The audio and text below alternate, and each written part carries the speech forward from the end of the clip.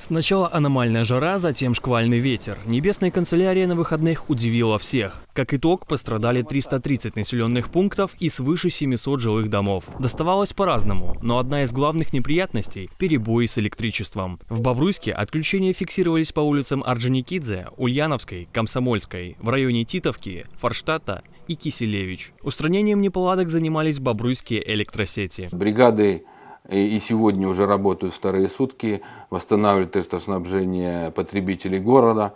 Значит, ну, так как мы еще отвечаем за электроснабжение не только город, города, но еще пяти районов а, Бобруйского энергоузла, то есть все бригады задействованы в аварийных э, восстановительных работах. Все районы устраняют аварии, запитывают потребителей.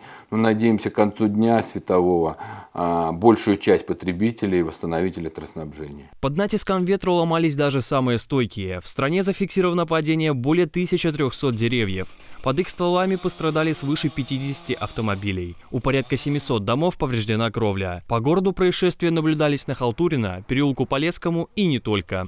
За прошедшие сутки, ввиду прохождения грозового фронта в Могилевской области, а, зафиксировано 19 опавших деревьев в городе Бобруйске и 11 деревьев в Бобруйском районе. К счастью, пострадавших нет.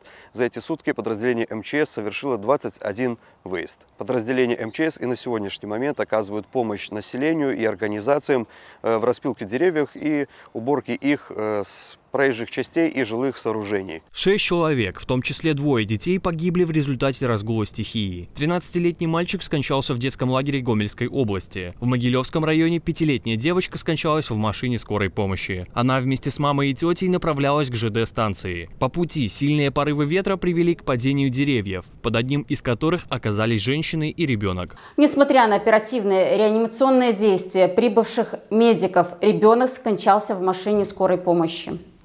На месте происшествия работала следственно-оперативная группа. Установлено, что мама и дочь на днях приехали к родственнице, чтобы пройти плановое обследование в больнице и подготовить девочку к школе. Во избежание трагедий помните, во время подобных стихийных капризов лучше оставаться дома и не подвергать свою и жизни близких опасности. Роман Костюков, Максим Калинин, Бобруйск, 360.